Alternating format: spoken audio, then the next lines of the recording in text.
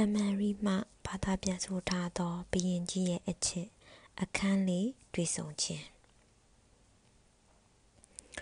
1930ဆောင်းရာသီလောက်မှာအဝတ်ကသူ့ရဲ့တငယ်ချင်းတွေဖြစ်တဲ့လော်နဲ့လေဒီဖာနက်တို့ရှိတဲ့နေရာကိုသွားပြီးနေခဲ့တယ်။ဘီရင်ကြီးရဲ့အကြောင်းဆိုတဲ့စာအုပ်မှာအဲ့မှာနေခဲ့တဲ့ရတတပတ်အကြောင်းကိုသူကဒီလိုမျိုးရေးခဲ့တယ်။စနေနေ့မှာပေါ့ရာသီဥတုကအရန်အေးပြီးလျာလည်းအရန်တိုက်တယ် မိုးကလည်းအရန်ရွာတော့ငါတို့ကအပြင်ဝင်မြင်းထွက်စီဖို့ဖြစ်နိုင်ခဲ့ကြဘူးလေဒါကြောင့်မလို့ငါတို့အိမ်ထဲမှာပဲနေဖို့ဆုံးဖြတ်လိုက်တယ်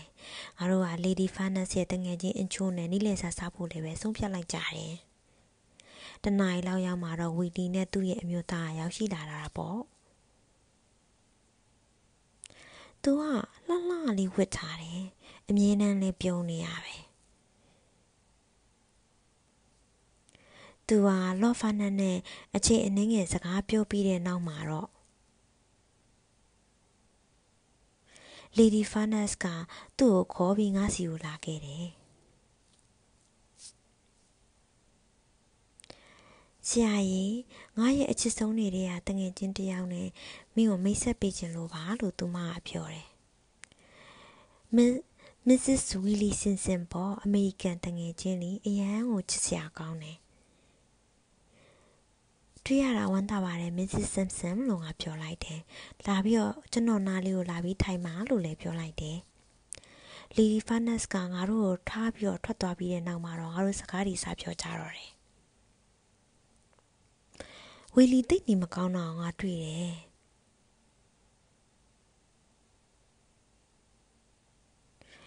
သူဟာတော်တော်အေးနေပုံလဲရပြီးတော့သူမရဲ့မျက်လုံးနေရဆိုရင်လည်းရဲနေရပဲ။ ငါပြောမိတယ်ငါတို့အင်္ဂလန်ကအိန္ဒိယတိတ်ပြီးမနှွေးဘူးလို့ငါပြောလိုက်မိတယ်ငါတို့မှာအမေရိကန်အလဲပိုင်းကလို့ပုံမျိုးလည်းမရှိဘူးလို့လည်းငါပြောခဲ့တယ်အဲ့နောက်မှာတော့အကြာကြီးငြိမ်သွားတော့တယ်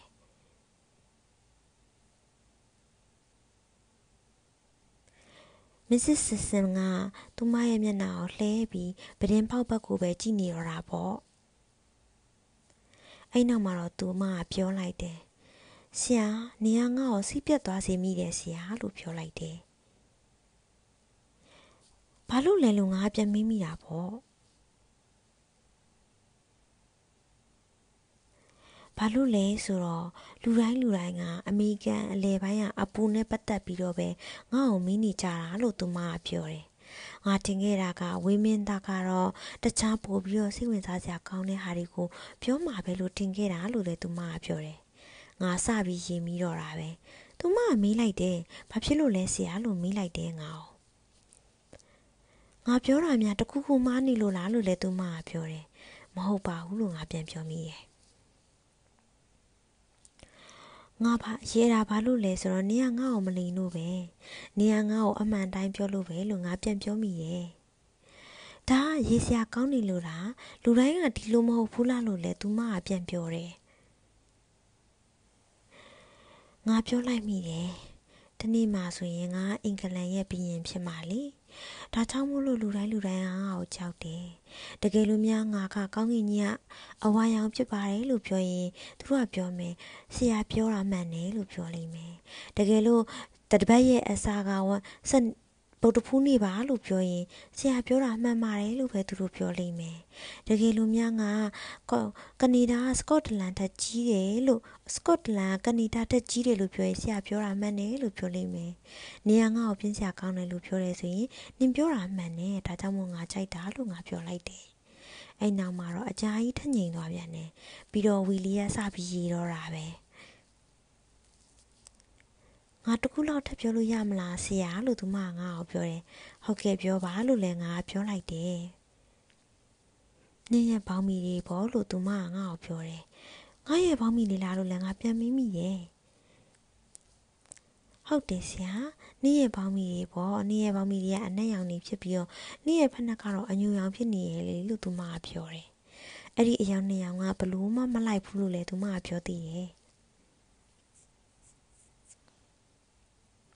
ငါမတည့်ရက်ပြီးငါကူငါအောင်မှန်နေမှကြည့်မိရပေါ့ဟုတ်တာပေါ့မစ္စတာဆင်ဆန်ရဲ့လို့ငါပြောလိုက်တယ်နင့်မှန်နေငါရဲ့ပုံစံရအရန်ကြီးရစိုးနေတာပဲလို့ငါပြောလိုက်မိတယ်နောက်တစ်ပတ်ငါနောက်တစ်ခါငါတို့စုံတဲ့ချိန်ကျရင်ငါပိုးပြီးကောင်းကောင်းလေးဝတ်ထားပါမယ်လို့လည်းငါပြောလိုက်တယ်ထမင်း နေ့လေစာအစင်းသင်းဖြစ်တဲ့အချိန်မှာတော့ငါတို့ဟာထမင်းစားခန်းကိုအတူတူရှောက်သွားခဲ့တာပေါ့ထမင်းစားခန်းရဲ့ဇပွဲရဲ့တစ်ဖက်မှာငါထိုင်ပြီးတစ်ဖက်မှာတော့ဝီလီယာထိုင်နေလေငါသူမကိုပဲတိတိကျကျကြည့်နေမိရဲ့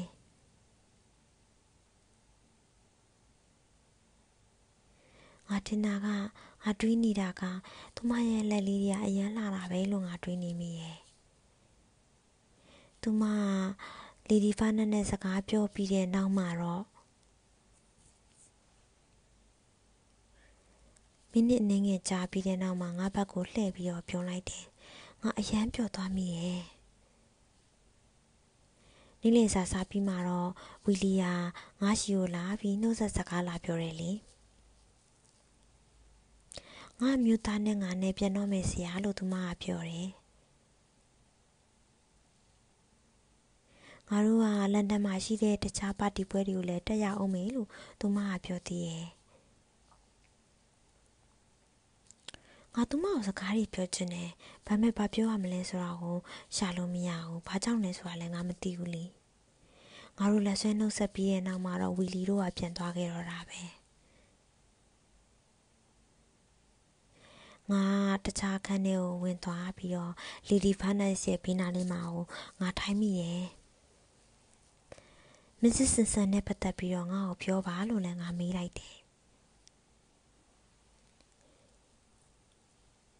သူမလေဒီဖန်နက်စ်ကငါ့ကိုမေးတယ်ဆရာဘာသိချင်တာလဲလို့မေးတယ်အကုန်လုံးကိုသိချင်တာလို့ငါပြောလိုက်တယ်အဲ့ဒါဆိုရင်ဆရာငါတို့ဘညံထဲမှာလမ်းလျှောက်လို့လမ်းမလျှောက်ချင်ဘူးလားလို့သူမကငါ့ကိုမေးတယ်အဲ့နေရာမှာတော့ငါတို့ပို့ပြီးတော့လွတ်လွတ်လပ်လပ်ပြောနိုင်တာပေါ့လို့လည်းသူမကပြောတယ်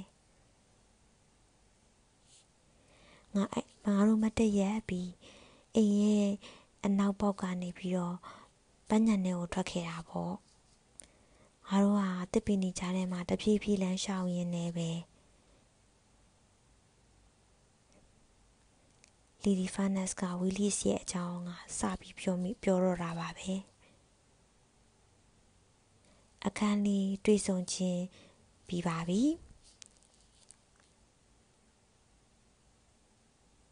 အခန်းကဝီလီစောင့်မျှော်နားထောင်ကြပါအောင်လို့အားလုံးကိုကျေးဇူးတင်ပါတယ်